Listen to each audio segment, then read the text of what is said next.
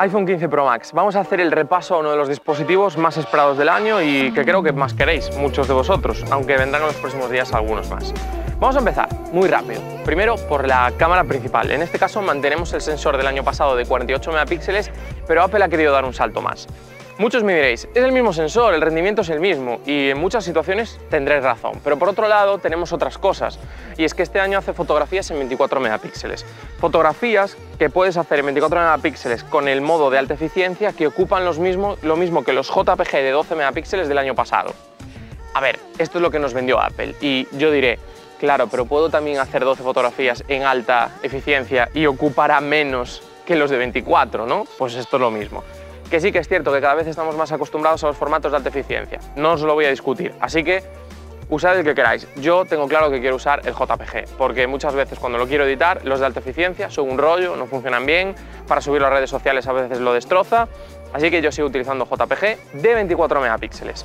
¿Qué aporta 24 megapíxeles frente a 12, además de ser más grande? Me ha gustado más el detalle, lo interpreta mejor, hay una parte extra de procesado que este procesador del A17 Pro puede hacer y sobre todo esta nueva cámara lo que nos permite es utilizar dos focales ficticias más que el año pasado, que son 28 milímetros y 35 milímetros. Dos focales muy habituales en la fotografía de calle, fotografía de ciudad, como lo queráis llamar.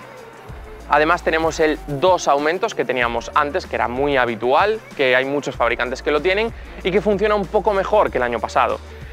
Por todo esto digo que ha cambiado esta cámara, porque además en 24 megapíxeles tenemos mejor rango dinámico que en 12. En 24 megapíxeles el detalle es superior e incluso en algunas situaciones se ven menos editadas las fotografías, lo cual pues, lo convierte en un punto extra y realmente muy interesante.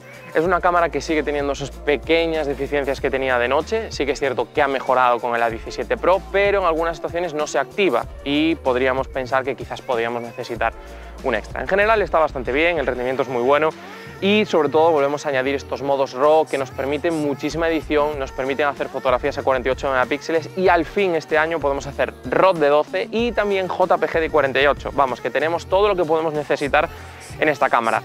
No sé si es la mejor cámara principal del mercado, no lo sé, pero sí que tengo claro que es una de las mejores y sobre todo lo que ofrece es la que tiene más alternativas los 24 milímetros nativos, los 28 con mucha calidad, los 35 con mucha calidad y el por 2 que es un 48 también de muchísima calidad. De un sensor conseguimos sacar cuatro distancias focales muy parecidas, pero cuatro distancias focales con muy buena calidad. Aquí Apple pues hay que reconocer que ha hecho un grandísimo trabajo. La segunda cámara es el gran angular y aquí es donde viene el problema. Un gran angular que no está para nada a la altura de un dispositivo que cuesta 1.469 euros. Alguno me ha dicho, yo lo he encontrado mucho más barato.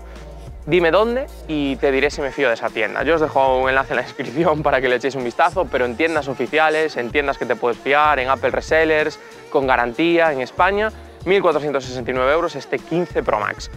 Lo cierto es que el gran angular es flojo, seguimos teniendo problemas en las esquinas, seguimos teniendo un rango dinámico corto y hay cosas que evidentemente tiene que mejorar. Es una cámara que no está a la altura, no está al nivel, incluso comparado con el S23 Ultra, que no era un gran angular excelente, está por detrás, con el Pixel 8 Pro está por detrás. Y si nos metemos a otras opciones de Honor, de Oppo, de Huawei, de Xiaomi, está claramente por detrás. Es un gran angular flojo en general. Y después añadimos un nuevo teleobjetivo. Aquí tenemos cinco aumentos en vez de los tres que teníamos antes. ¿Y qué decir de estos cinco aumentos? Pues muchas cosas. Por un lado, las fotografías me gustan más que con las otras cámaras, más naturales, colores un poquito mejores. En cuanto baja un poco la luz, se nota que es un sensor con un poquito menos de luminosidad y saca bastante ruido. Pero Apple no ha querido limpiarlo en exceso y esto es algo que me gusta mucho. Este 5 aumentos nos ofrece hasta 10 aumentos con cierta calidad. Es cierto que en situaciones intermedias es peor que, por ejemplo, el S23 Ultra que tiene 10 aumentos nativos, pero por otro lado es curioso que cuando hay muy poquita luz, el modo noche funciona muy bien y sobre todo en situaciones extremas funciona mejor que lo que tenemos en el S23 Ultra. Hay rivales mejores en esas situaciones extremas, pero aquí tengo que reconocer que Apple me ha sorprendido. Ya el año pasado, con el 3 aumentos, cuando hacías por 10, por 15, que era lo máximo que tenía, funcionaba mejor que el S23 Ultra, pero este año me ha sorprendido un poco más. Al tener más zoom, mejor rendimiento, mejor calidad global, oye, muy bien por este teleobjetivo. Problema, que sí que es cierto que de 2 a 5 aumentos hay mucha distancia y ahí en esas distancias intermedias no funciona muy bien. ¿Y cuál es el problema? Que a veces para hacer un retrato, pues como por ejemplo me están cogiendo a mí, ¿no? desde más o menos por aquí hasta por aquí, con 5 aumentos te tienes que ir muy lejos, mucho más lejos de lo que sería necesario con el 3 y esto pues lo vuelve un poquito complicado para algunas fotografías normales. Después tenemos una cámara delantera de 12 megapíxeles que tengo que reconocer que no me gusta nada, ¿vale? Eh, estuve el otro día haciendo fotos con ella, comparándola con otros dispositivos y el rendimiento es flojo. Tenemos un rango dinámico flojo, tenemos un procesado excesivo en algunas situaciones y las barbas, la barba, por ejemplo, en mi caso, que siempre es uno de esos puntos difíciles ¿no? de, mapeado, pues queda un poquito más clara de lo que debería quedar de, de normal. No es nada grave, pero sí que está claro que existe un pequeño problema para algunas situaciones. No es una cámara que esté a la altura de lo que ofrecen otros. Por ejemplo, el S23 Ultra tiene mucha mejor cámara delantera. Una de las claves del iPhone, y de este año no iba a ser diferente, es el vídeo. Tenemos 4K a 60 fotogramas por segundo en todas las cámaras y tenemos este año más añadidos. Vamos a hablar primero de la calidad y después de los extras. La cámara principal del iPhone es la que graba mejor vídeo de cualquier smartphone que puedas imaginar. En cualquier situación que tú quieras añadir es sin ninguna duda la mejor cámara para grabar vídeo, 4K 60, 4K 24, cámara lenta, lo que quieras, es el mejor vídeo que tenemos en el mercado. El gran angular, pese a ser un sensor muy flojo, gracias a esa magia del vídeo de Apple, es uno de los más eh, completos, uno de los que más me gustan, sobre todo en situaciones difíciles, tiene un extra de rango dinámico, controla mejor el ruido, a diferencia de otros, ahí da un extra, y es gracias a toda la parte del procesado donde Apple funciona mejor que muchos de sus rivales. Y después el teleobjetivo pues tiene un vídeo correcto, ninguna maravilla. La cámara delantera sí que tiene un vídeo bastante mejorable, rango dinámico corto, ahí por ejemplo el S23 Ultra es mucho mejor e incluso la inteligencia artificial del Pixel 8 Pro, que no me gusta nada, da más rango dinámico, imágenes cero artificiales, pero más rango dinámico. ¿Y dónde vienen los extras? Ya el año pasado teníamos ProRes, ProRes que tenía mucho sentido, mucha calidad, muy, buena, muy bueno para algunos usuarios y este año tenemos ProRes con logarítmico. ¿Qué significa esto? Que tenemos un perfil de color logarítmico que nos permite muchísimo más trabajo en postproducción. Os hice un vídeo hablando específicamente del vídeo donde os conté más de esto por si le quieres echar un vistazo. Eso es positivo para los usuarios que son avanzados, para los que quieren usar un extra, pero todo este vídeo logarítmico necesita un añadido. Podemos grabar 4K 60 fotogramas por segundo. Necesitaremos, eso sí, el USB tipo C, un disco duro lo suficientemente rápido. Yo os voy a dejar el enlace al SK Inix que utilizo yo, lo cierto es que es muy pequeñito, funciona muy bien, muy rápido, bastante económico, así que, oye, yo ahí no he tenido ningún problema. Sé que hay gente que lo ha probado y que ha tenido problemas a la hora de verlo en 60 fotogramas por segundo porque no era capaz de grabar el disco duro que tenía externo. En mi caso, yo no he tenido ningún problema con ese, así que os lo voy a dejar en la descripción. Además de esto, tenemos un muy buen eh, modo ultra estable, es seguramente el mejor del mercado, más resolución que la mayoría de ellos, 2,8K, Además tenemos hasta 60 fotogramas por segundo, esto es normal. Podemos utilizar todos los sensores fotográficos y sobre todo el extra que tiene es que tenemos el mejor rango dinámico y el mejor detalle. Muchos de los otros lavan en exceso y aquí mantenemos sin ninguna duda una calidad superior. Si mezclas el ProRes logarítmico con los 5 aumentos en 2,8K a 60 fotogramas por segundo, vais a ver algo tan alucinante como lo que estoy haciendo ahora, como lo que estáis viendo ahora encima. ¿no? Es increíble ver esa imagen, cómo se transforma en lo, que en lo que hay en la captura, lo que ves y lo que después tienes.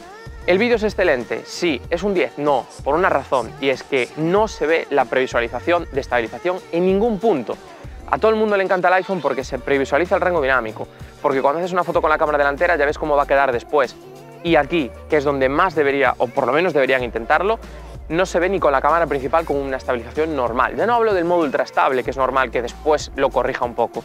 El modo ultra estable es un caos. O sea que esto para mí es el punto más débil que tienen todas estas cámaras. Y fijaros que estoy hablando de una cosa específica muy concreta. Pero al final, si acabas recortando un poco, en situaciones con un poquito de movimiento, necesitas saber hasta dónde puedes recortar o hasta dónde puedes aproximar. Así que tienes que jugar siempre con un poquito de margen. Y ahora vamos a hablar del procesado de imagen, porque aquí llega una de esas cosas que es difícil de valorar y que hay veces que cuando las explico pues no quedan del todo claras. A ver, el procesado de imagen del iPhone 15 Pro Max es bueno. ¿Es perfecto? No, y sigue teniendo los mismos problemas que tenía el año pasado. Por ejemplo, el primer punto, fotografías con eh, atardeceres. Una hora parecida a esta, quizás un poco después. Cielos naranjas. Se pasa, ¿vale? O sea, en cuanto, en cuanto distingue esa situación, esa escena, se pasa muchísimo subiendo la intensidad de los rojos, la intensidad de los naranjas, los amarillos los convierte en naranjas, los naranjas los pasa a rojos y quedan unas imágenes súper artificiales. O sea, de hecho, si comparas una con una, con el S23 Ultra, con el Pixel 8 Pro, con el OnePlus 11, no tiene sentido el color que saca el iPhone. Y lleva varias generaciones haciéndolo y creo que es algo que, o que no se han parado a pensar o no tengo muy claro qué ha pasado, pero les pasa. Después, por otro lado, seguimos teniendo un modo noche flojo. Es cierto que hay cosas en las que es mejor que muchos de sus rivales. Por ejemplo, en el modo noche el cielo es negro y ellos lo han entendido, ¿vale? Por la noche el cielo es negro en la mayor parte de situaciones y ellos lo han entendido. Perfecto. Después, por otro lado, eh, en general sí que es cierto que no te hace ese extra de luz que hacen muchos otros fabricantes, ¿no? que te intentan iluminar una noche que no es real. Pero ¿cuál es el problema? Que cuando tienes una cámara tan mala como el gran angular, tienes que entender que en algunas situaciones ese extra del Deep Fusion, ese extra del procesado añadido que te da el modo noche, lo tienes que activar antes y Apple no lo hace. Y eso es un problema porque si tienes una cámara tan mala como el gran angular y aún encima tus rivales con mejores sensores y mejor procesado de noche lo activan, pasan cosas como que zonas en las que tú es completamente negro, como pasa en el iPhone, en algún árbol, en alguna plaza con alguna sombra, los demás rivales tienen detalle o muestran información. No mucha, pero muestran detalle y muestran información. Y para mí eso es una, de las claves. Y después las pieles, muy bien en general, pero alguna foto así puntual se va un poco quizás en algunos casos a pálido y otros casos a cálido. No tengo muy claro por qué, pero sí que es cierto que depende un poco de la situación global te puede interpretar muy diferente la piel. General es de los mejores en ese punto, pero también quería que lo supierais. Y ahora vamos a hablar de la aplicación y para mí, sin ninguna duda, es otra de esas cosas en las que Apple tiene que mejorar. Vale, tenemos ProRes, muy bien, tenemos logarítmico, muy bien, tenemos modo Pro, ah no, no tenemos modo Pro. Entonces, ese es el problema. ¿Qué sentido tiene que tengamos un dispositivo Pro, que tiene ProRAW, que tiene ProRes, que tiene logarítmico y en el cual no podemos controlar las funciones básicas de fotografía. No podemos modificar nosotros el ISO, no podemos modificar la velocidad de eh, obturación y tampoco podremos modificar las lentes. Algo que por ejemplo en el Pixel 8 Pro o en el S23 Ultra, ya sea con una aplicación propia o externa en el caso del S23, pero específica, diseñada por el fabricante, nos permite seleccionar las lentes, no solo la longitud no solo la distancia focal, que es lo que te permite Apple. Tú le das a cinco aumentos, si es de día o si es de noche, él escoge con qué hace la foto, a veces hace el zoom incluso de 5 aumentos con el sensor principal porque considera que en esa situación va a quedar mejor. En el 5 aumentos no pasa tanto, pero en el 3, por ejemplo, sí que pasaba más el año pasado. Así que tenemos esas pequeñas cosas. Por lo demás, la aplicación, muy bien, vale, tener ProRAW, tener ProRes, logarítmico, todas esas cosas bien. Es muy rápida, eso sí que no se puede negar, pero después también tenemos el tema de no previsualizar eh, la estabilización de vídeo, pero sí que previsualizamos el rango dinámico en todas las cámaras no sé, hay como muchas cosas que están muy bien por un lado y cosas que no están tan bien por el otro y que deberían mejorar. Me ha dejado, no digo frío, pero sí que es cierto que es esa sensación de que le faltan más cosas de las que le deberían faltar y que se fijan en algunos detalles en las que son que están muy bien, porque ves el rango dinámico, porque tienes algunas cosas quizás más sencillas que otros fabricantes, pero ¿qué sentido tiene que para activar algunos modos me tenga que ir a los ajustes del sistema? Para mí eso es algo que no tiene ningún tipo de sentido. Y ahora vamos con unas conclusiones. ¿Qué tal el iPhone 15 Pro Max para hacer foto? Bien. El mejor, me costaría decirlo, vale, el Pixel 8 Pro, el S23 Ultra, el Xiaomi 13 Ultra, hay muchos, incluso eh, Vivo, incluso puede que en algún momento Huawei, quizás no. ¿Es el iPhone 15 Pro Max el mejor para hacer vídeo? Sí, sin ninguna duda, ¿vale? O sea, este año el ProRes ha sido un extra, tenemos más potencia de procesado, me ha gustado más de noche, hemos corregido los flares, que era uno de los fallos gravísimos que tenía, las luces fantasmas de noche, luz directa, son mucho mejores. Sigue teniendo problemas y sigue siendo de los peores, pero ya no es tan dramático como era en el 13 Pro o como era en el 14 Pro, ha mejorado bastante. Tenemos muy buena cámara principal, la más versátil de todo el mercado, tenemos un teleobjetivo que es muy bueno y tenemos dos cámaras que son mejorables, tanto la delantera como el gran angular. Cada día que pasa la delantera me gusta menos, aunque sigue siendo, no es tan mala quizás como he dicho en el vídeo, pero sí que necesita un extra. Y el vídeo es el mejor, 4K 60, modo ultra estable, solo le falta una cosa, grabar vídeo en 8K. Todo lo demás hay que reconocer que este iPhone 15 Pro Max lo tiene, así que poco más os puedo decir. Os dejo por aquí el vídeo que hice sobre el vídeo del iPhone 15 Pro Max y os dejo también el análisis del S23 Ultra su gran rival o uno de los grandes rivales. Espero que te haya gustado este vídeo, no te olvides en darle like, suscribirte y nos vemos muy pronto.